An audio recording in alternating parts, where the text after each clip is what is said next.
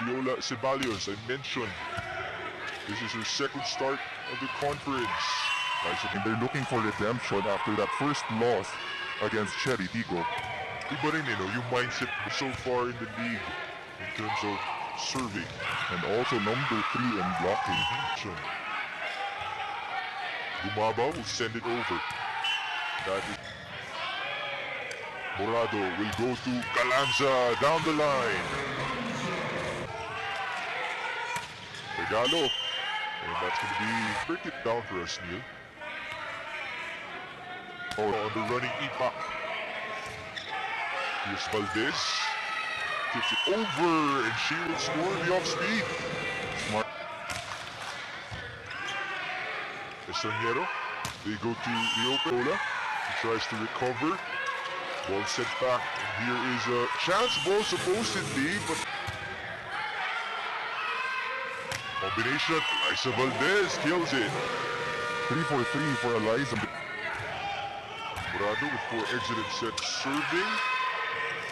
Marciano will send it over. Yol, Philippine University. Unfortunately, a service error. Chance ball here. Estranjero. They go to Estranjero. He's sent over by Ceballos. Morado will go to the combination. Creamline again here. Will set side. Morado will go to Galanza. Set back. All the time, Estranjero try to score. Galanza now. And she will score for Dream 9. They go to Sato. Recovered by Cignal. Jema was there. Alyssa again. Sent back.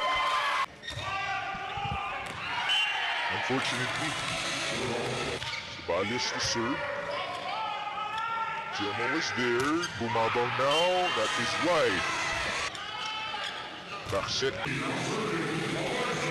So much chemistry between these two players. That's all you need.